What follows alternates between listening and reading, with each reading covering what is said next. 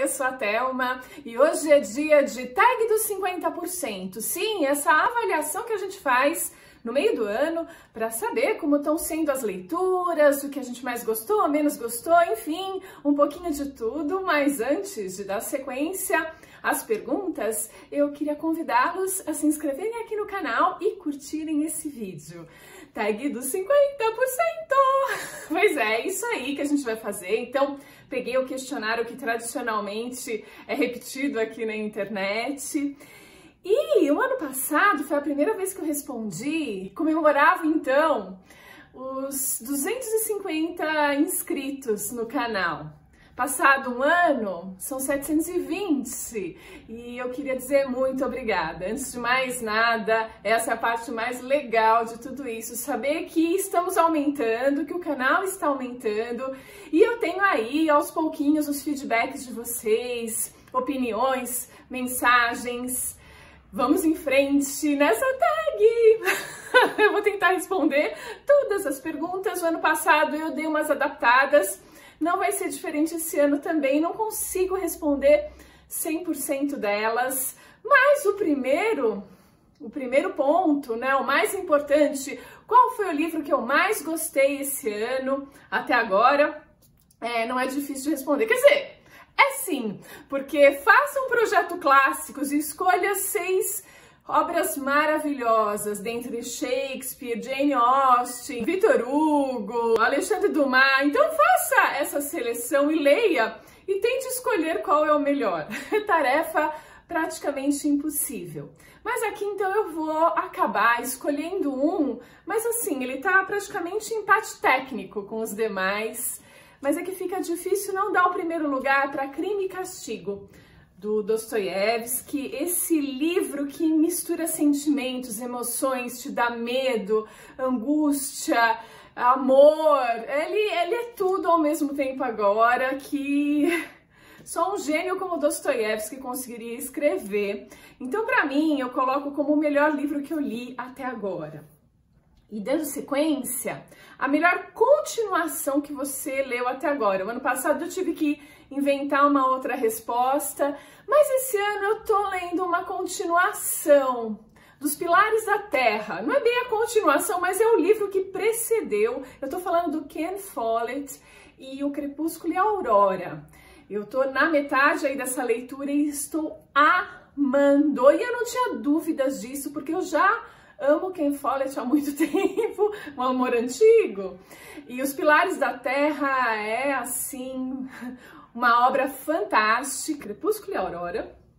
Não deixa nada a desejar, então é aí uma continuação ou algo que precedeu essa obra-prima que eu recomendo demais. Melhor leitura de livro lançamento. E aí vou ter que inventar, né? Porque eu não li nada. Quer dizer, é um lançamento esse o Crepúsculo e a Aurora, mas já contei nessa outra pergunta. Então, para essa, eu vou dar uma outra perspectiva de livros que eu acabei lendo para complementar os textos para vocês e acabei descobrindo obras incríveis. Por exemplo, como Por que Ler Shakespeare, da Bárbara Eliodora. Então eu comecei a ler Shakespeare esse ano, adorei.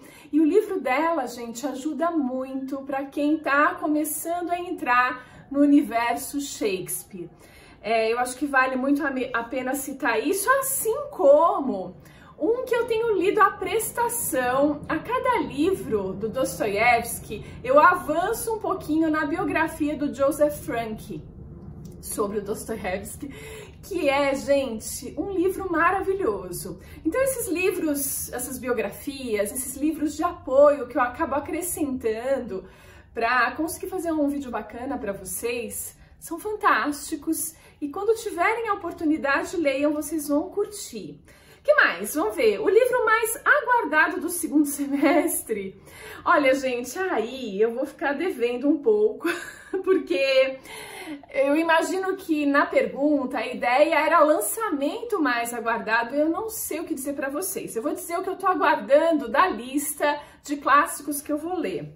E um deles é O Som e a Fúria. Eu tô é uma mistura de sentimentos. tô super afim de ler e tô me perguntando se eu vou conseguir é, me adaptar a essa leitura. E outro que eu tô super afim de ler é Os Catadores de Conchas, é, da Rosamund Pilcher. Vamos ver, são livros que eu tô super ansiosa porque foram muito bem indicados. Enfim, vamos lá. Qual é a próxima, né? Livro que mais te decepcionou esse ano? Sabe que tem um que tá começando a parecer que vai me decepcionar, mas eu não terminei de ler. Eu acabei parando a leitura. Eu então acho que é melhor. É, tem a ver com Kurtzeit Shura, mas eu não vou continuar. É, são duas sequências. Eu não sei, eu tô estranhando um pouco, tô sentindo uma certa dificuldade na tradução dos dois, da Murka e da Shura. Mas peraí, deixa pra lá. Vou falar de não é uma decepção, mas foi o livro que me causou maior estranheza. Vou ter que também fazer uma adaptação, porque eu jamais poderia falar que é uma decepção. Mas eu estranhei O Morro dos Ventos Vivantes. É uma leitura super instigante, você quer chegar logo ao final, mas você sofre durante toda a leitura. Ela passa, a Emily Brontë passa um sofrimento para você que não é mole não.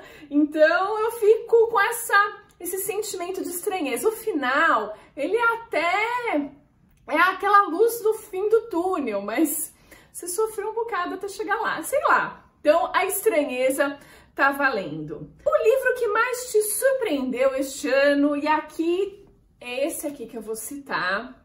É uma biografia do Tom Reis, o Conde Negro, que conta do pai do Alexandre Dumas, o escritor do Conde de Monte Cristo. Aqui, esse livro eu tinha comprado há um tempão, estava encostado aqui em casa, e como eu queria trazer uma leitura a mais no vídeo do Conde de Monte Cristo, algo da biografia do Alexandre Dumas, falei, quer saber? Vou ler sobre o pai dele. E essa história é surpreendente, vai te levar para a Revolução Francesa, para os tempos do Napoleão aí conquistando a Europa, enfim, vale muito a pena. É uma história e você vai conhecer um personagem, quer dizer, ele foi um homem, mas é um personagem, um herói autêntico e que eu gostei muito de ler. Então, tá valendo aí, né?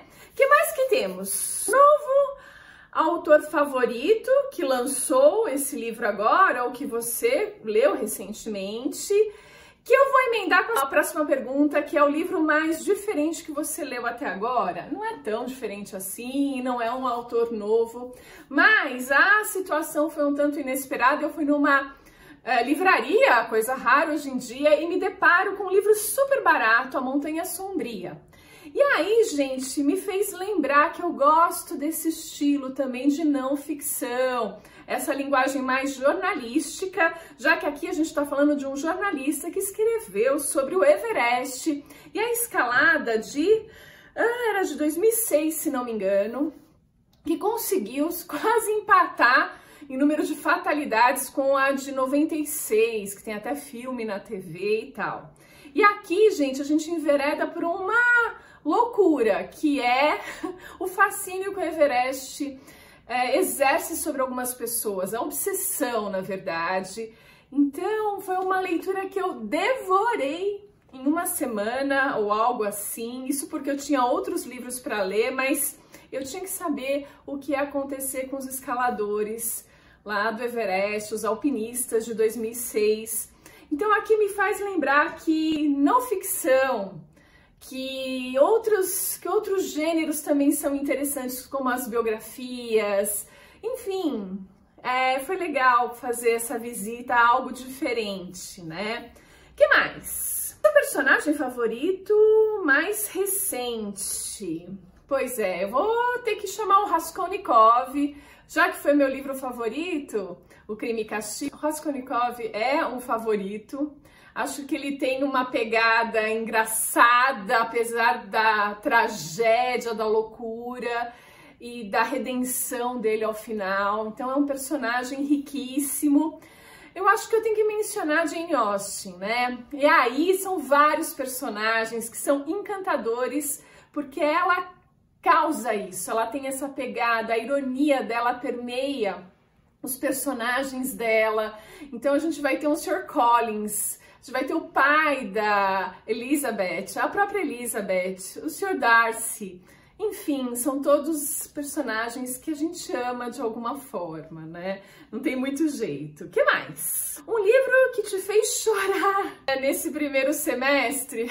É, o eu comecei chorando com Vitor Hugo, né? Na última página do Corcunda de Notre Dame, eu me esgoelei de chorar, mas chorar sem soluçar, viu, gente? Aí pensei que eu tinha superado isso. Claro que não, porque lendo Dostoiévski, Crime e Castigo, nas últimas páginas eu não conseguia ler de tanto que eu chorava. Esse momento da redenção, da compreensão do Raskolnikov é forte demais. E olha, e tudo vale a pena para se chegar aí a essas páginas. Então me fizeram chorar. E aí eu acho que eu emendo com essa outra pergunta, o livro que me deixou feliz nesse primeiro semestre. Quando você chora, nesse caso, é um, quer dizer, no Vitor Hugo foi um choro de tristeza pela raça humana. Mas do Raskolnikov é um choro de alegria, dessa redenção.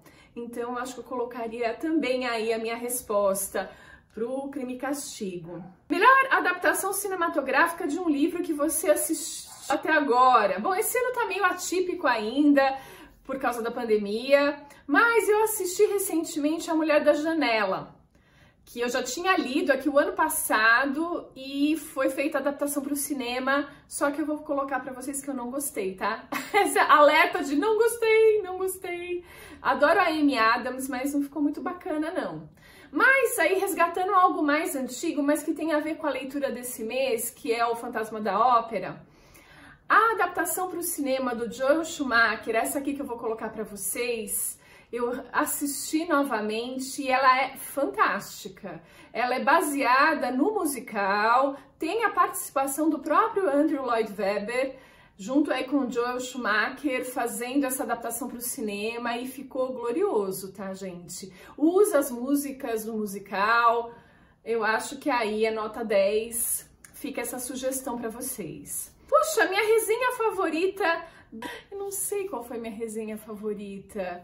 Eu acho que eu vou colocar um pouco da Jane Austen aqui. Eu acho que eu fiz uma resenha diferente. Eu vou colocar o link para vocês, onde eu falo um pouco das entrelinhas que eu encontrei na edição, acho que era da Penguin. É, eu achei bem legal. E aí eu fiz um vídeo onde eu mergulho um pouco nessa época da Jane Austen, o que dizia, o que cada uma das referências dela queria dizer, né? Livro mais bonito desse ano, por enquanto, peraí que eu vou pegar. Ai, gente, são todos da Dark Side. Como que eu vou escolher qual é o livro mais bonito? Todos são maravilhosos. Porém, eu ganhei um livro, A História do Vestuário Ocidental. Esse livro é da Cossack Naif. E aí, gente, é... o que, que eu posso falar de um livro desse? Você tem uma a história de todo o vestuário. Isso está me ajudando bastante nas minhas pesquisas. É um livro maravilhoso, que eu posso dizer. Quais livros você precisa ou quer ler muito até o final do ano? É, são todos do Projeto Clássico, eu já citei dois aqui, mas é isso mesmo. Então é isso, gente. Tag dos 50% respondida. Espero que vocês tenham gostado e a gente se vê no próximo vídeo.